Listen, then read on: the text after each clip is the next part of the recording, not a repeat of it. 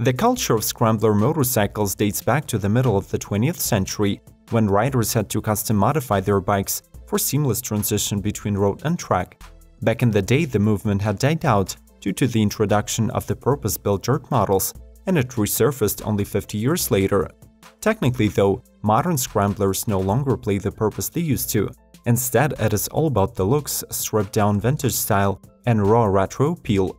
In this episode, we'll take a look at the best models of scramblers that are currently on sale, including the latest newcomers, their prices, and detailed specifications. Subscribe to Automotive Territory to get notified about the new episodes, and enjoy the ride! Triumph Scrambler 1200 Claimed to be the most performance-advanced Triumph Scrambler models to date, the new 1200 XC and XE were revealed at the final production look in October 2018. In addition to a fresh design and off-road capable body, the bikes come with a new generation powertrain that can be also seen in the brand's Bobber and Speedmaster models. Instead of a 900cc engine that powers the street lineup, the motorcycles are equipped with a larger 1200cc liquid-cooled 8-valve parallel twin and a 6-speed gearbox, delivering 81 pound-feet of torque and 88 horsepower. Both motorcycles get a new rear suspension from Öhlins, Brembo brake calipers, LED lights, new TFT screen and a 21-inch front wheel. The ABS and traction control are also standard on both, but these features can also be turned off in the off-road focused XE.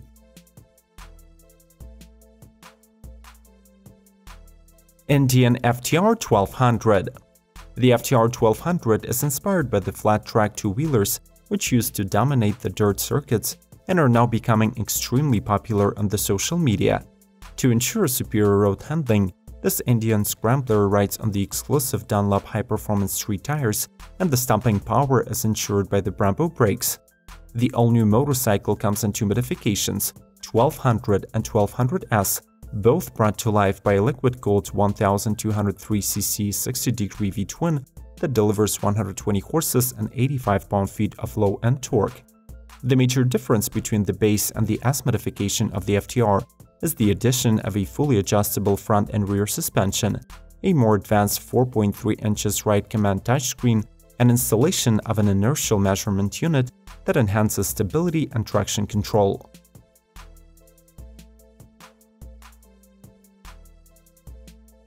BMW R90 Scrambler Based on the R90 Roadster model, this motorcycle can be considered its cheaper version and at the same time one of the most expensive and powerful scramblers on the market.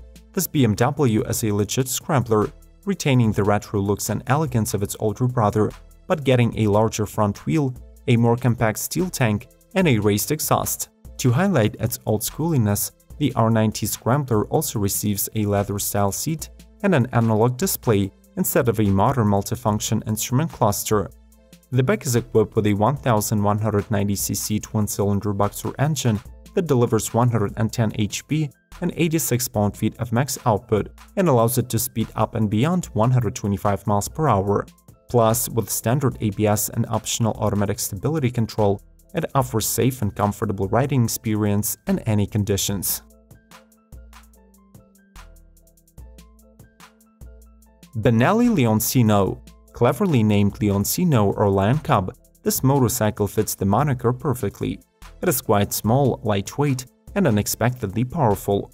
At its heart is a new 500cc 4-stroke liquid-cooled two-cylinder engine paired with a 6-speed transmission that deliver 48 horsepower and 33 pound-feet of peak torque. The model has retro styling, paying tribute to the legendary Italian motorcycle of the same name that made history for Benelli being produced in 1950s. The Leoncino rides on the new steel trolley frame, which perfectly integrates into the retro design. The lion symbol, which dates back 100 years, is displayed on the fender, plus the fuel tank, exhaust, and saddle designs give the Scrambler balance and modern look. The lighting is now all LED, the ABS system is standard, and the suspension is revised for greater comfort.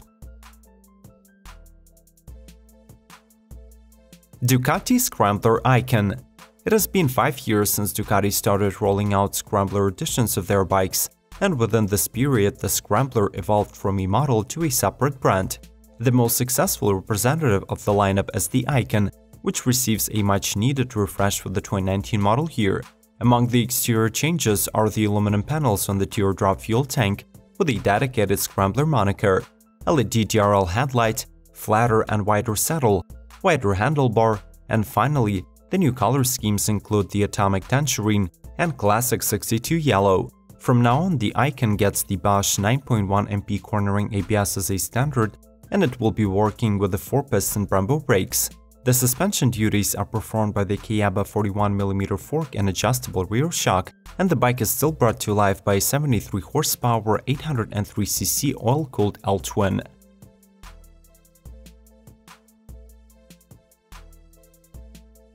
Yamaha SCR 950 Though it is built on the basis of the Yamaha Bolt, the company's entry-level cruiser bike, the SCR 950 is considered a classic scrambler on today's motorcycle market. It boasts all the must-haves for this type of bike, from an upswept exhaust system for improved ground clearance, to vintage design with a small round headlight and spoked wheels wrapped in knobby tires. For added comfort, this Yamaha also gets wide handlebars and a flat dual seat that provides the rider with more freedom of movement.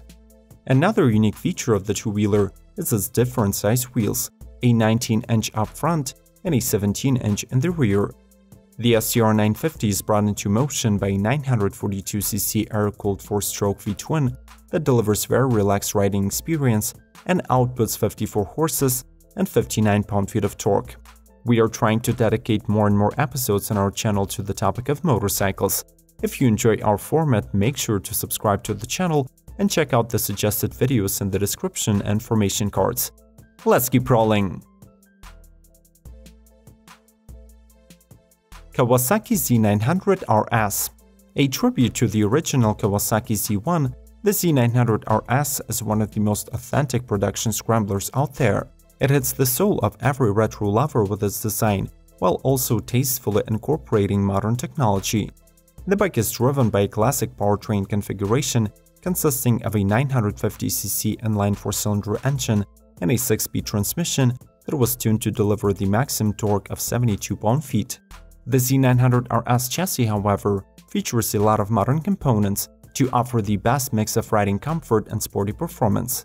Among them is a lightweight trolley frame and a non-retro inverted telescopic fork with adjustable compression and rebound damping. The bike's instrument panel also blends modern elements and vintage components, with the LCD display nested in the center and two analog dials on its sides. Husqvarna Svartpilen 401. While on the outside this motorcycle has a completely unique look, it is actually underpinned by the KTM 390 Duke platform, which could be explained by the fact that Husqvarna is a subsidiary of this Austrian bike manufacturer. The name of the motorcycle is translated from Swedish as Black Arrow, hinting at the modern styling, which combines sharp edges with retro elements of a scrambler. Just like its corporate sibling, 401 Svartpilen gets a 373cc single-cylinder with electronic fuel injection and ride-by-wire.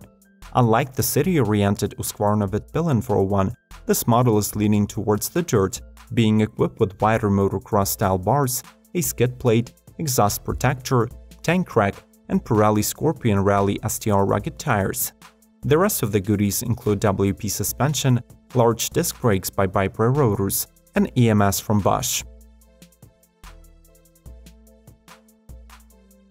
Honda CB1100EX.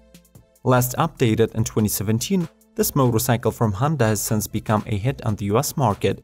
The bike was designed with an idea that classic never goes out of style, featuring the brand's iconic red steel tank, chromed fenders, and a retro-looking round headlight. Just like most of its scrambler competitors, the Honda CB1100EX offers a comfortable upright seating position and ergonomic handlebars. It also gets a transverse 4-cylinder engine with air cooling and displacement of 1140cc.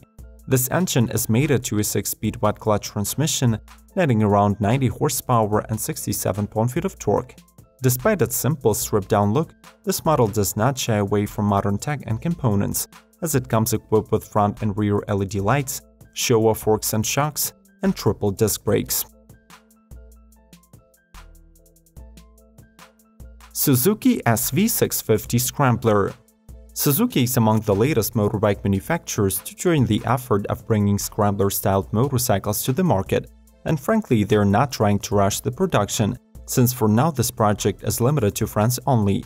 The iteration of Suzuki bikes should be called a mild Scrambler kit, since all of the modifications are focused on the bolt-on add-ons, which add to the stock SV650 wide LSL handlebars, more sizable footpegs, a short front mudguard, a headlight protector, radiator guards, a fly shield, a chain guard, and a vintage-looking leather seat. Moreover, Suzuki also threw in a set of Dunlop Mutant tires.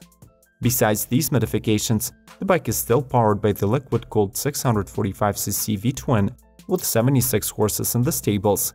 It has ABS system from Nissin, full LCD instrument panel, and LED trail and stoplights. What do you think about the presented motorcycles? Do they qualify as scramblers in your opinion, or are they just standard bikes with the word scrambler added by the manufacturers to boost sales? Share your thoughts in the comments.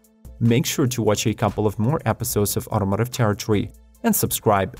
As always, may the torque be with you!